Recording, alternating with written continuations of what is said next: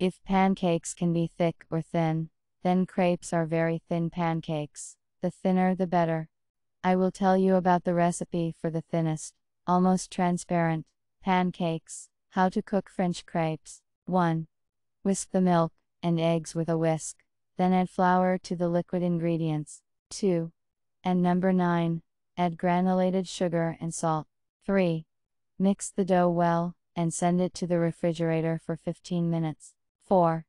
Preheat frying pan with butter, pour about 0.25 cups of dough, and spread over the entire surface. 5. And number 9. Fry the pancakes on one side for about 1-2 minutes, then turn over. 6. And number 9. Cook on the other side, until golden brown, and remove from the pan. 7. And number 9. Serve ready made crepes immediately or after cooling.